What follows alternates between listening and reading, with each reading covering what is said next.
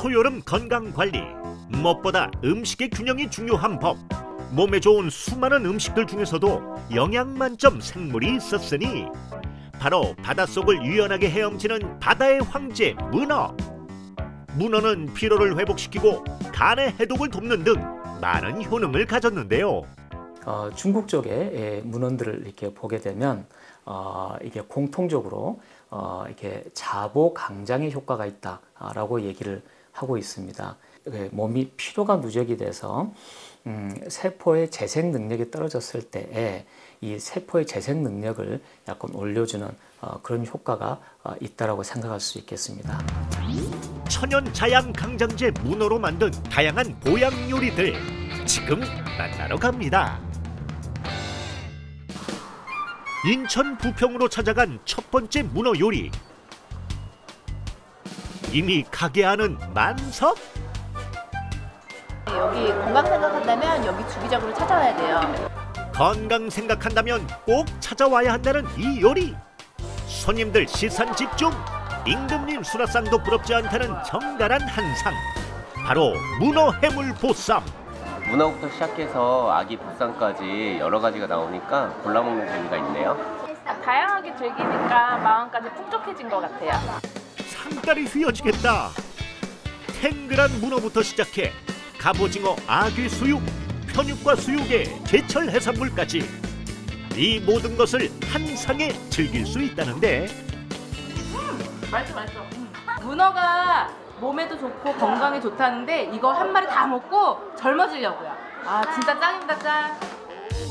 푸짐하고 다양할 뿐만 아니라 맛도 일품. 손님들 젓가락 공세 끊이질 않는데요. 보쌈 고기에 통통한 문어살 한 쌈 입에 썩. 문어와 보쌈의 운명적인 만남. 그 속사정을 파헤쳐 봅시다. 사장님 안녕하세요. 아, 네, 안녕하세요. 20년 경력 셰프의 문어 보쌈 한상 조영철 사장님. 그런데 대낮부터 칼을 든 사장님. 사장님 지금 뭐 하고 계세요? 아 지금 꽃문어 만들고 있어요. 꽃문어요? 네, 꽃문어요. 꽃처럼 예쁘게 피어난 오동통한 문어. 이 꽃문어는 그냥 태어나는 게 아닌데요. 바다에서 갓 잡아온 듯한 문어. 깨끗하게 세척해줘야 합니다. 이 발판에 뻘이 있어요. 그래서 뻘 빼주는 작업하거든요. 이제 문어를 삶아줄 차례. 그때 사장님 큰 냄비에 넣는 이것은 사장님 방금 넣으신 게 뭐예요? 녹차 티백입니다. 어, 티백을 왜 넣는 거예요? 아 문어 고유의 맛을 살리기 좀 위해서 저는 티백을 넣고 있습니다. 녹차의 향이 속까지 촉촉하게 스며들어 문어 본연의 맛이 더해집니다.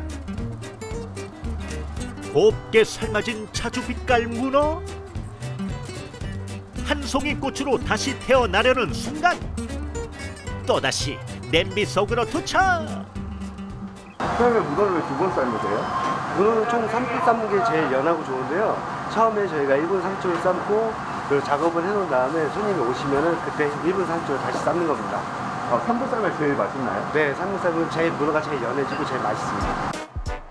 두 번 나누어 적당한 시간 데쳐내는 게 야들야들한 식감의 비법 보쌈 고기와 편육도 매일 직접 만드는데요 담백하고 고소한 맛이 일품이라는 돼지고기 수육. 하루 세 번 나눠 삶아 따끈한 온기 품은 돼지고기 수육 대령이요. 직접 굳힌 부드러운 편육도 예쁘게 올려주고 바다의 향 가득 담은 해산물 찜까지. 아귀, 전복, 새우, 홍어, 멍게, 가리비, 피꼬막, 간재미 등 10여 가지 해산물 모두 사장님 손을 거치는데요.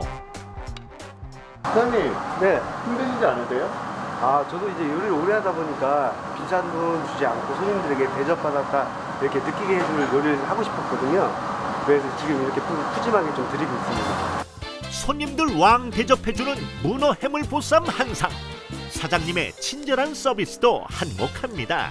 아, 처음에는 예쁜 모양으로 좀 나오고요. 그리고 이제 손님들 이제 식사하실 때는 좀 드시기 편하게 저희가 잘라드리고 있어요.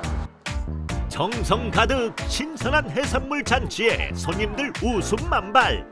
아이고 어른이고 할 것 없이 푹 빠져버린 천상의 맛. 건강하고 맛있는 문어 해물 보쌈입니다. 다 맛있었어요. 어떤 게 제일 맛있었어요? 어, 문어 맛있었어요. 어떤 게 제일 맛있었어요? 문어야.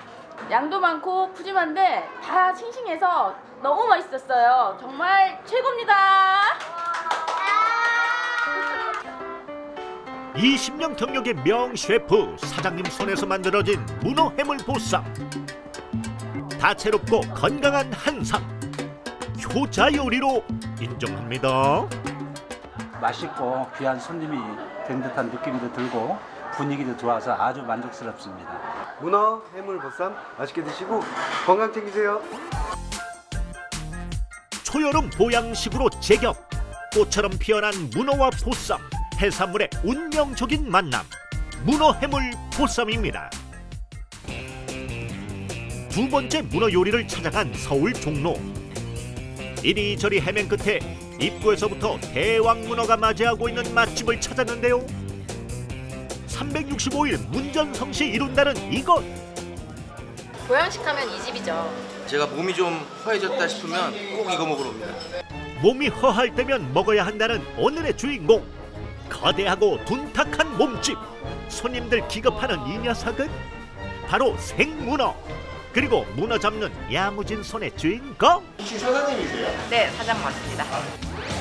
문어 요리의 진수 함상희 사장님 여기서 문어가 몸에 좋다고 하는데 이 메뉴가 뭐예요?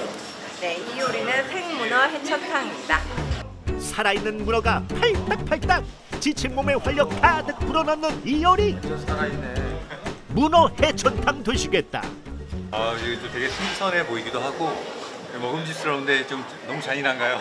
근데 뭐 먹어야죠 맛있게 몸에 좋다고 하니까. 뜨끈한 육수에 빠진 다양한 해산물과 싱싱한 문어 바다의 영양 가득 담은 문어 해천탕. 그 위험에 손님들 기대감 수직 상승!